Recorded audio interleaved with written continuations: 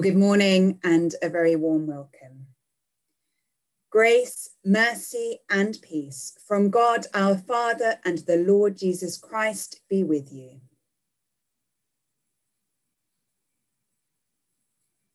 We begin with our first song, Be Still for the Presence of the Lord.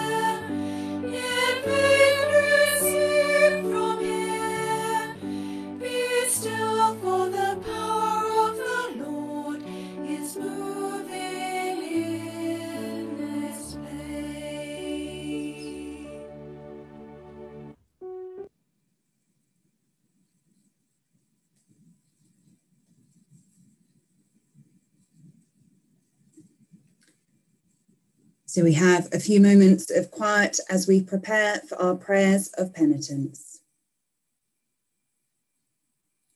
God so loved the world that he gave his only Son, Jesus Christ, to save us from our sins, to be our advocate in heaven, and to bring us to eternal life. Let us confess our sins in penitence and faith firmly resolved to keep God's commandments and to live in love and peace with all. Almighty God, our Heavenly Father, we have sinned against you and against our neighbour in thought and word and deed, through negligence, through weakness, through our own deliberate fault. We are truly sorry and repent of all our sins for the sake of your Son, Jesus Christ, who died for us. Forgive us all that is past, and grant that we may serve you in newness of life, to the glory of your name. Amen. Almighty God, who forgives all who truly repent, have mercy upon you, pardon and deliver you from all your sins, confirm and strengthen you in all goodness, and keep you in life eternal through Jesus Christ our Lord. Amen. And now the collect for the presentation of Christ in the temple. Almighty and ever living God, clothed in majesty, whose beloved Son was this day presented in the temple in substance of our flesh, grant that we may be presented to you with pure and clean hearts by your Son, Jesus Christ our Lord, who is alive and reigns with you in the unity of the Holy Spirit, one God, now and forever. Amen. Now, Aidan's going to bring us our reading.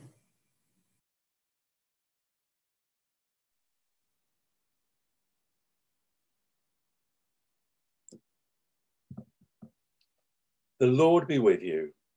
Hear the gospel of our Lord Jesus Christ according to Luke. When the time came for their purification, according to the law of Moses, Mary and Joseph brought Jesus up to Jerusalem to present him to the Lord, as it is written in the law of the Lord every firstborn male shall be designated as holy to the Lord and they offered a sacrifice according to what is stated in the law of the Lord a pair of turtle doves or two young pigeons. Now there was a man in Jerusalem whose name was Simeon. This man was righteous and devout, looking forward to the consolation of Israel, and the Holy Spirit rested on him. It had been revealed to him by the Holy Spirit that he would not see death before he had seen the Lord's Messiah. Guided by the Holy Spirit, Simeon came into the temple, and when the parents brought in the child Jesus to do for him what was customary under the law, Simeon took him in his arms and praised God, saying, Master, now you are dismissing your servant in peace, according to your word for my eyes have seen your salvation, which you have prepared in the presence of all peoples, a light for revelation to the Gentiles and for the glory to your people Israel. And the child's father and mother were amazed at what was being said about him. Then Simeon blessed them and said to his mother Mary, This child is destined for the falling and the rising of many in Israel, and to be a sign that will be opposed, so that the inner thoughts of many will be revealed, and a sword will pierce your own soul too. There was also a prophet, Anna, the daughter of Phanuel of the tribe of Asher. She was of a great age having lived with her husband seven years after her marriage, then as a widow to the age of 84. She never left the temple, but worshipped there with fasting and prayer night and day. At that moment, she came and began to praise God and to speak about the child to all who were looking for the redemption of Jerusalem. When they had finished everything required by the law of the Lord, they returned to Galilee, to their own town of Nazareth. The child grew and became strong, filled with wisdom, and the favour of God was upon him. This is the word of the Lord. Thanks be to thee.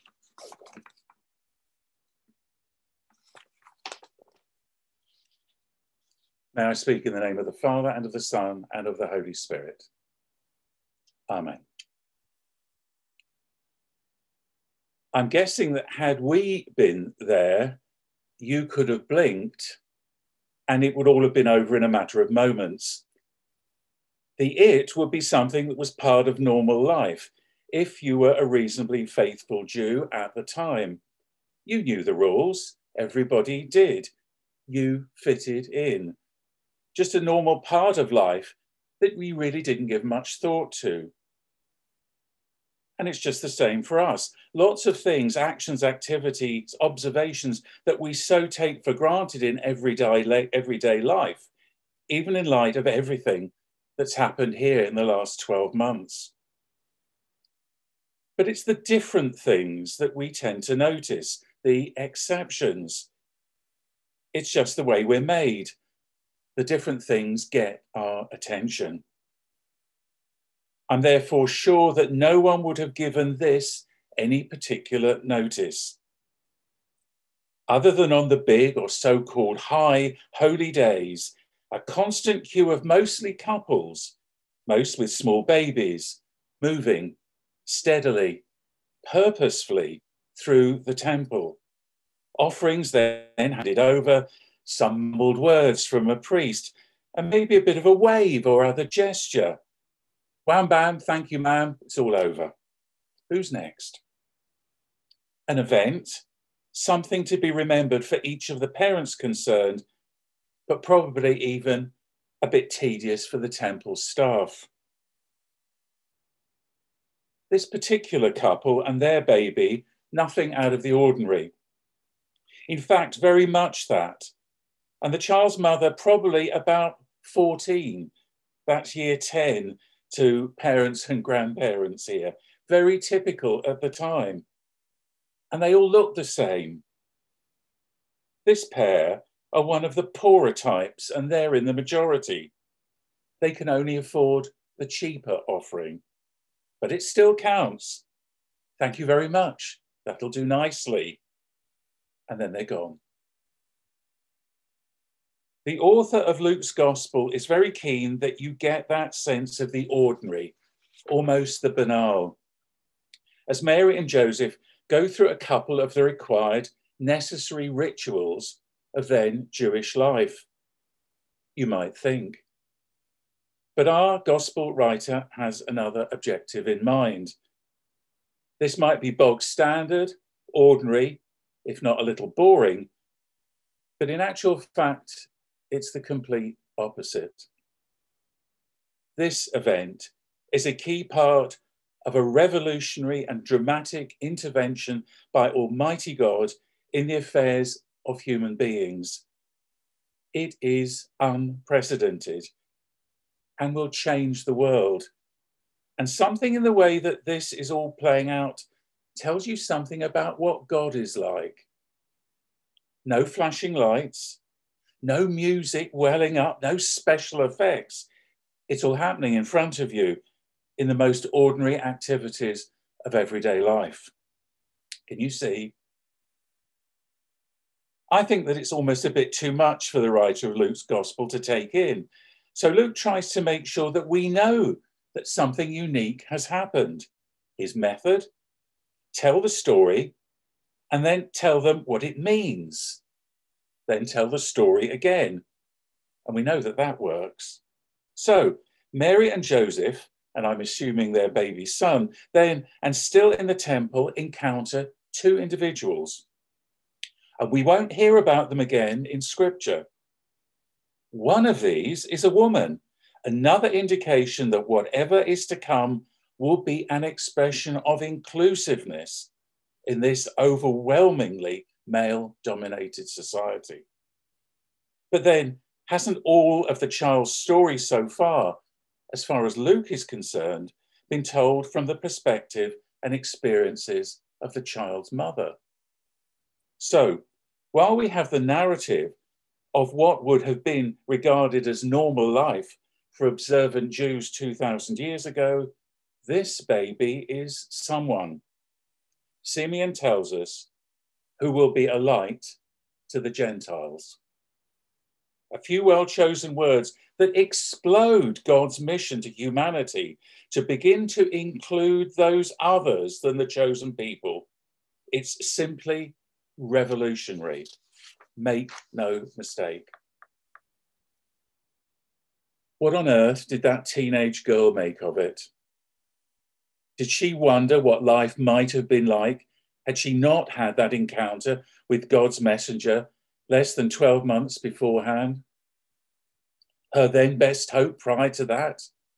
Some security in a tough but normal day to day life living in an obscure village slightly off the beaten track. Mary's memories from the then last 10 months probably reeling from various levels of shock. Then in the temple, more weirdness, and an explicit warning of violence of the most extreme kind. Whatever next, she must have thought. Good heavens, you wouldn't blame her if all she wanted to do was get home and disappear back into obscurity. Maybe the best she could hope for was that the baby would eventually survive childhood and inherit her husband's trade, have some dignity and standing in the world, maybe marry and have children. One of the challenges for most Christians is to struggle with this story. The undertakings that God gives to us unrestrained love, and support are articulated by Jesus in his adult ministry and continue to the here and now through the work of the Helper, the Holy Spirit. The prayers and prayer lives of Simeon and Anna remind us of one way to live out the life of faith. We, in our turn, have to try and see in the ordinary and sometimes banal events of the here and now, let alone the pandemic, how God's intentions are playing out. And that's what Luke is trying to do through these narratives. The various Gospels all make it clear that many of those attracted to Jesus' messages found this all too hard, all too implausible. And it's not that those who live in faith have the intrinsic ability to discern the divine. The reality, I'd suggest, is that they simply stick to the search. They persevere, like in Pilgrim's Progress, taking the route that's not necessarily the easiest. The church itself continues to be challenged by all of this.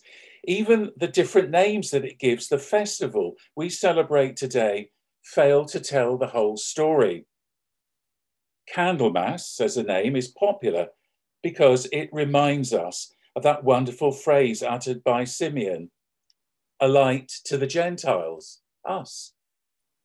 Too Catholic for some, so we'll call it the Feast of the Purification in the temple tells you about the scriptural and cultural context, but not much else. Okay, I know I'm being a bit snippy here, but I think you get the message. Perhaps the best thing we can take away from today's gospel is hinted at in something that usually happens only today and only once a year when we're in church. The Candlemas pres- or presentation in the temple liturgy asks us at that service's end to make what, seem, what seems to be the smallest of physical gestures. Before we take our ministries and missions out into the world, we collectively turn from facing east, as we do at Holy Angels, to the altar, to face the font at the rear of the church. Consider, the liturgy suggests, as we turn from the Christmas season and so end it, and then look towards Lent and on to Easter, at the font, candles which we've lit earlier are extinguished. We move on. Jesus, until now in the form of a baby, stands with us, figuratively, inviting us to be with him for a journey, ultimately of hope, to a place beyond our own expectations and imaginative abilities, to a place that we can only try and anticipate, but which is nevertheless open to all of us. Come this way, he says. Stick with me. No worries. Amen.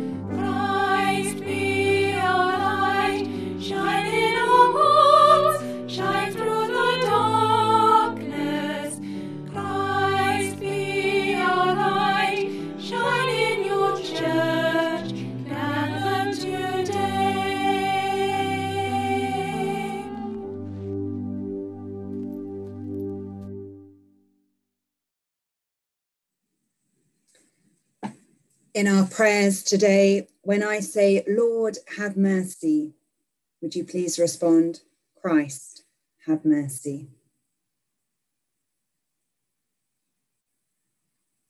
Let us pray to the Father through Christ, who is our light and life. Father, your Christ is acclaimed as the glory of Israel.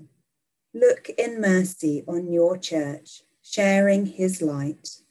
Lord, have mercy. Christ, have mercy. Father, your Christ in his temple brings judgment on the world. Look in mercy on the nations who long for his justice. Lord, have mercy. Christ, have mercy.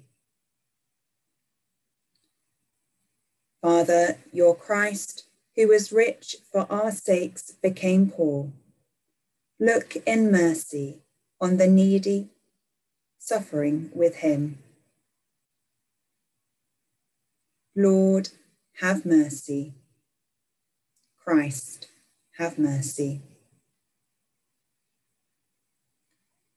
Father, your Christ is the one in whom faithful servants find their peace. Look in mercy on the departed, that they may see your salvation. Lord, have mercy. Christ, have mercy. Father, your Christ is revealed as the one destined to be rejected. Look in mercy on us, who now t- turn towards his passion. Lord, have mercy. Christ, have mercy. Lord God, you kept faith with Simeon and Anna and showed them the infant King Give us grace to put all our trust in your promises and the patience to wait for their fulfillment through Jesus Christ our Lord. Amen. And now a prayer for all those who have lost their lives during this pandemic. We remember before God those who have died, and we pray that God's love will surround all who mourn them, now and always. Gracious God, as we remember before you the thousands who have died, surround us and all who mourn with your strong compassion. Be gentle with us in our grief.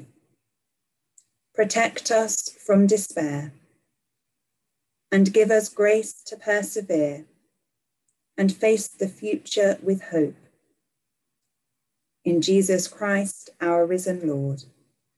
Amen.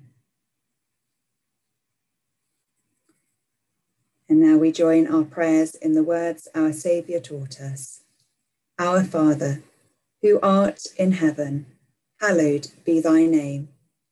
Thy kingdom come, thy will be done, on earth as it is in heaven. Give us this day our daily bread, and forgive us our trespasses, as we forgive those that trespass against us. And lead us not into temptation, but deliver us from evil. For thine is the kingdom, the power, and the glory, for ever and ever. Amen.